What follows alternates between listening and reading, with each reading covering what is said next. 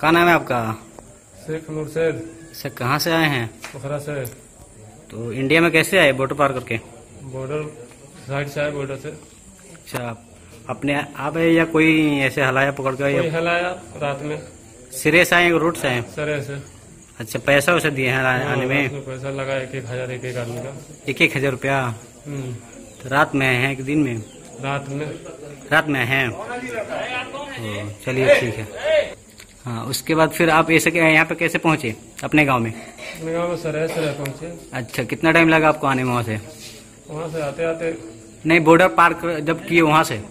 वहाँ से बॉर्डर पार किए तब यहाँ से हो गया।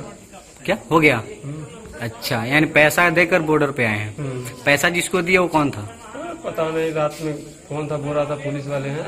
अच्छा आप लोग से वो बोला पुलिस वाले हैं लेकिन पुलिस वाला नहीं था वो वर्दी में नहीं था। अच्छा वर्दी में पुलिस वाले नहीं थे वो लेकिन बोले कि पुलिस वाले हैं। अच्छा लेकिन आप उनको पहचान नहीं पाए। हाँ? पहचाने? अच्छा नहीं पहचाने? कैसे पहचान लेंगे रात में आदमी। अगर बोलेंगे डंडा दिखा के जाओ पुलिस वाले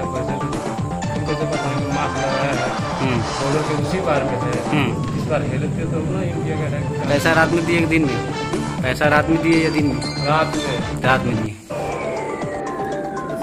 अभी जो लोग नेपाल से कुछ लेबर पटना से आए हुए हैं इन लोगों के बयान में बताया जा रहा है कि पैसा हैं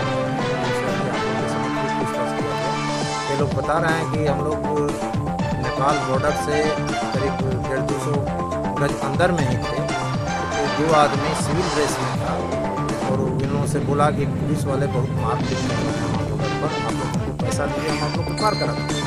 रात्रि 12 बजे के समय में कोई पुलिस वाला अकेला, वो भी नेपाल में नहीं हो सकता है। नेपाली हो सकते हैं, लेकिन कोई भारतीय पुलिस का, चाहे एसएसपी हो, चाहे पुलिस वाले हों, कोई भी उधर अंदर में जा नहीं सकता। और न ही दो आदमी रह सकते इसलिए ये लोग अपनी बात जो स्वीकार किए हैं आप लोग के सामने कोई पब्लिक होगा जो सिविल पैंट शर्ट में था है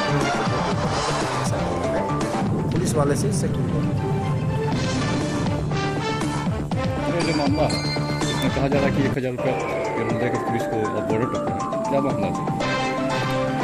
की मामले में और इन्होंने बताया कि जहाँ ये लोग था कि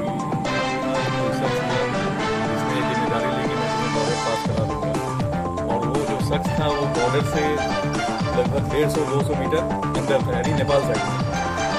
डेफिनेटली नेपाल साइड में भारत की पुलिस या हमारा जो एस एस बी के जवान है उधर नहीं जाएँगे। कोई और रहा होगा, किसी और शख्स ने ज़िम्मेदारी ली होगी जिसने कहा होगा कि मैं तुम्हें पास और ये बता रहे हैं कि ड्रेस में भी नहीं था तो पहचान करने किसी को। और रात बारह बजे की बात है। बारह बजे रात में वो भी चांदनी रात थी और बिल्कुल स्पष्ट उसमें देख सकता है कि भाई, कोई ऐसा अगर रहता है तो आइडेंटिफाई हो सकता। है अब पुलिस दो आदमी नहीं रहेगा, जब रहेगा तो पूरी टीम